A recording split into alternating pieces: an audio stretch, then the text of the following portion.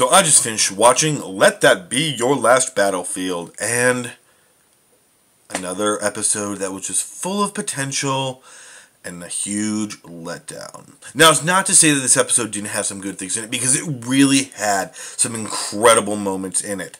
But those moments were so few and so far between, and the stuff that filled it in was just poorly written and not well thought out. My first indication to this is the opening when the Enterprise is going along and they come across this shuttlecraft, and one of the characters, I think it was either Sulu or Chekov, says something along the lines of, "That looks like the uh, shuttlecraft that was stolen from some starbase." That really bugged me. Um, you know, I'm not a, a, Star Trek fan at this point, really. Uh, well, okay, I like the show, but I'm not one of these guys that knows every single ship. Um, I'm not going to be able to give you the technical readouts on it and that sort of stuff. But it would seem to me that these shuttlecrafts that they use to go from ship to ship or ships to planets or stuff like that, if they're not using the transporters, wouldn't they all be the same? You have a federation of starships. And yes, I understand the big ships kind of all have their own little design, but even within that, it still kind of look the same. But the shuttlecrafts, they would just go from place to place. The idea is like anybody could kind of pilot them, and you didn't need to know 30 different types of shuttlecrafts. So how come they know that this is the one that was missing? Did like that starbase have its own special ones? That just kind of seems silly to me. Um, was that craft itself like I don't know painted with Kilroy was here or a coexist bumper sticker on the bottom? Like, how do they know that that's the missing one? To me, that just seems like really poorly thought out writing. Um, instead of saying, hey, there's a shuttlecraft. Hey, we had word that there was a missing one from the space station. Let's take a look, find out if it is. Anyway, that may be a minor gripe, um, but to me, it really did bug me because it just showed that they didn't think out some of those lines really well, and they just kind of wanted to jump into the plot. Um, instead of actually doing a good job setting it up, let's just go into the story. And so the setup I didn't like with that. Anyway, they get this guy, Lokai, and he is this alien that they've never seen before. His face is half white, half black. Uh, white on the right side, black on the left. Painted right down the middle. Um, and of course, Spock and McCoy are kind of baffled by it, whatever. He's in a coma uh, so to speak, and he kind of wakes up out of it, and they're talking, and Kirk is there, and some other stuff goes on, and then they get intercepted by this other ship. Um, I'm not really sure how this one worked. He flew his ship into the Enterprise, but dematerialized his ship, but he remained. I think that's how it worked. Um, it was really kind of weird. Anyway, there's this other guy who's on the ship who looks like Lokai, except this guy's name is Bele. Um, but he's got the opposite. He's got black on the right side of his face and white on the left side. Forced racism, people. And let's get ready for a whole lot of it. Because that's what we're in for. Um, basically, Bele is hunting down Lokai, and here again is another point where I think we had some really bad writing. He says that he has been searching for this guy for 50,000 Earth years. Let that sink into you. 50,000 of our years, he's been hunting this man down.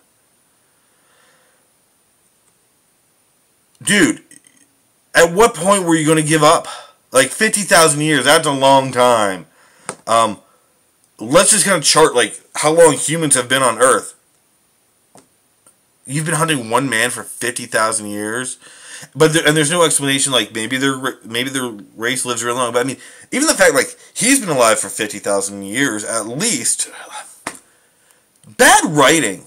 Just it, that's dumb. That's the sort of writing you see from some middle school kid who's writing fan fiction. You know, that's the story of you know the, the Jedi Knight, but he doesn't just have a lightsaber. He has a pitchfork lightsaber that shoots Death Star rays or something like that. Fifty thousand years. Give me a break.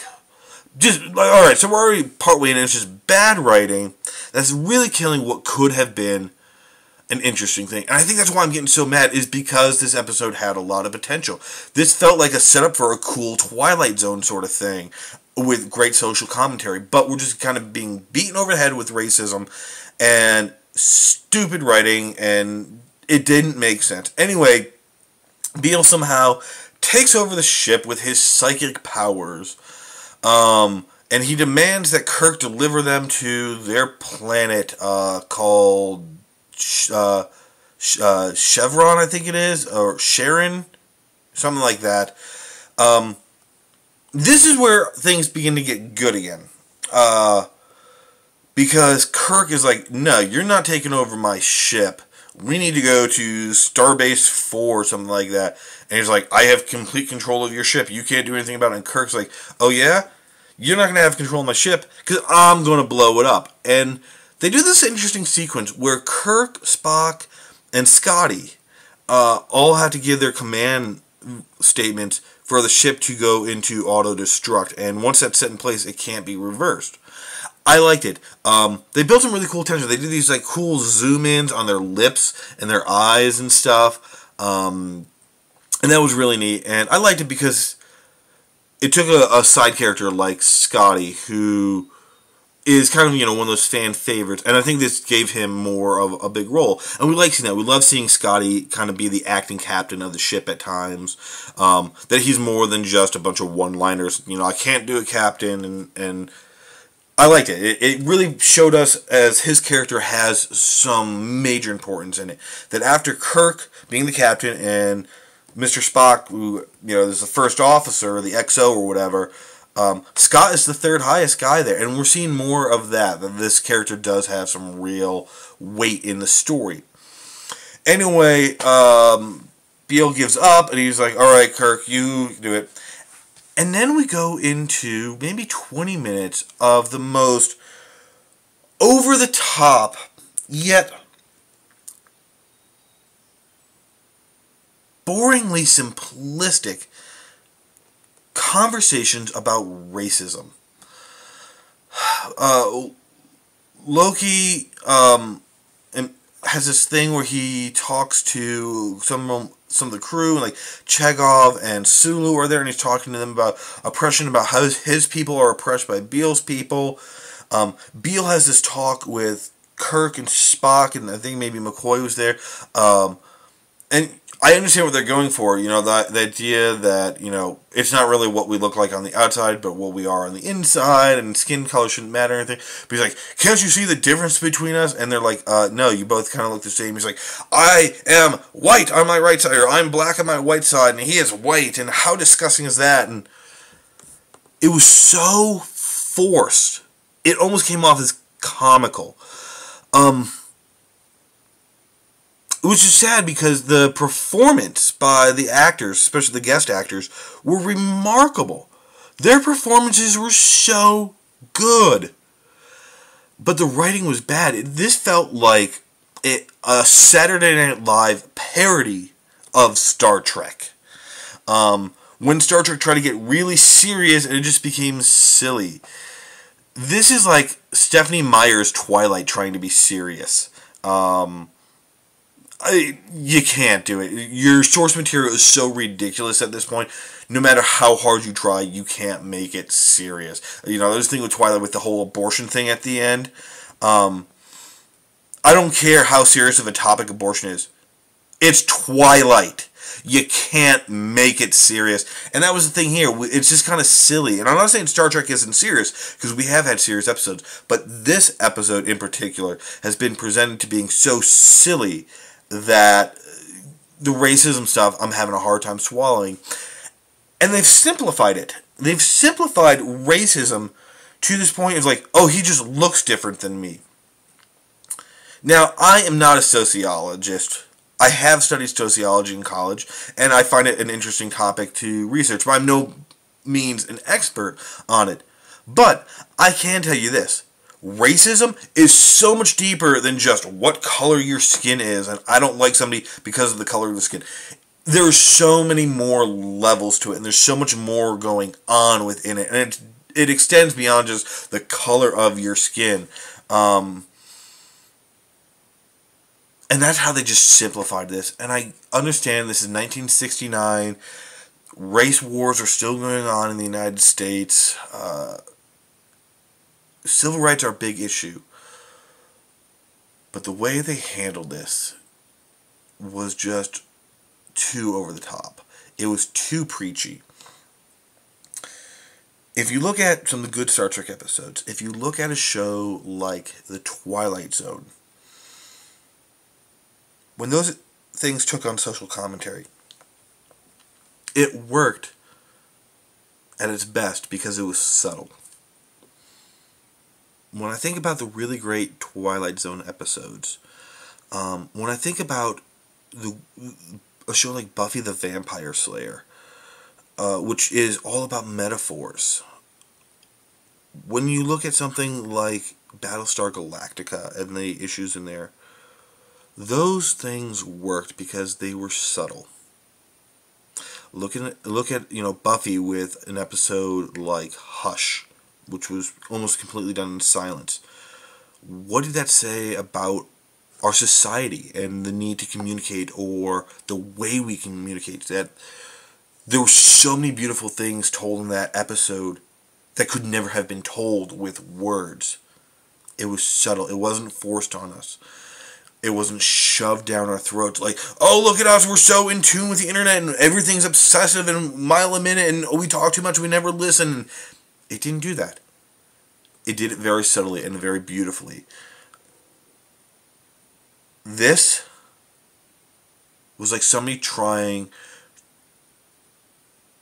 too hard. This felt like Tim Burton with his later material.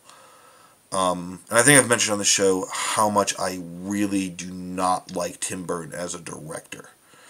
Because his stuff is so over the top. It's so heavy handed a thing like Big Fish. Um, I hated that movie because he just beat the audience over the head with the concept of you don't know if this is real or you don't know if this is made up. Like it's in your face and oh we're going back and forth. You don't know if this is real. I felt like it was like the scene in um oh what was that stupid Sacha Baron Cohen with uh, Bruno. The scene when he like literally beats another man over the head with a dildo.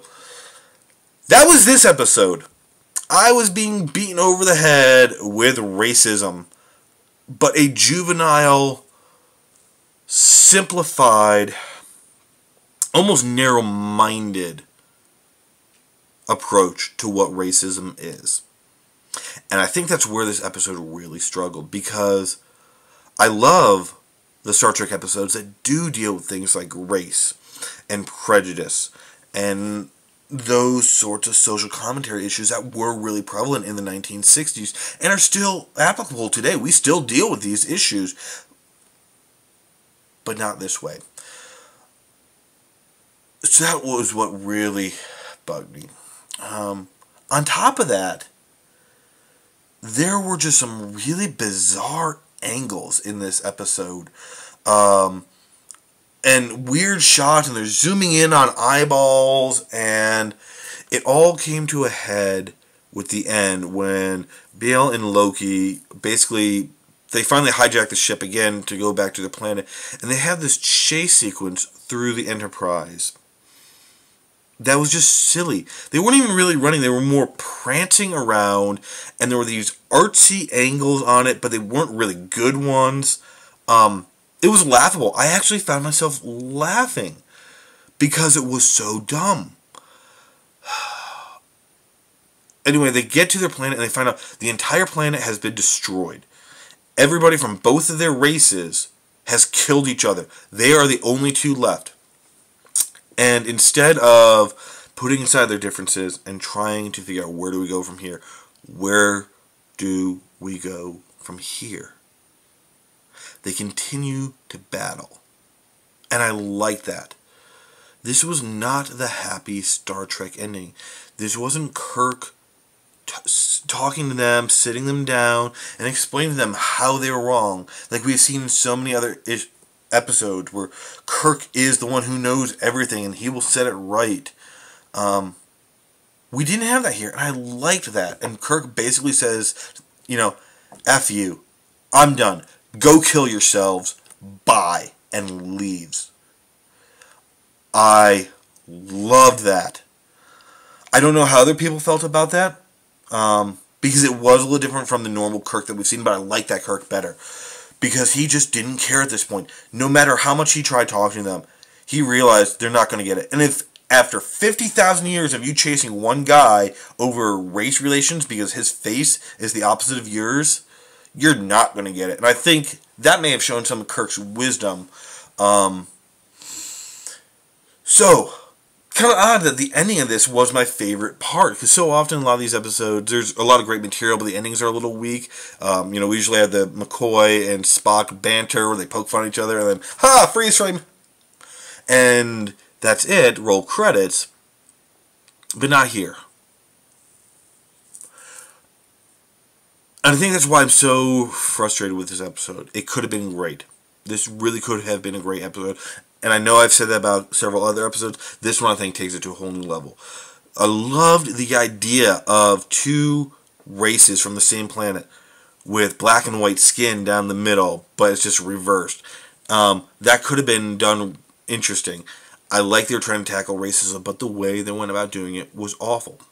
The performances were great. The ending was great, but it was the bad writing. It was the heavy handed stuff. It was the weird angles it was the fact that they took an issue that was way too complex and they just simplified it. So, I know I've talked a lot about this episode. Um, I really want to hear your thoughts on this, guys. So, comment, like, pass this around. Um, let's get the word out there.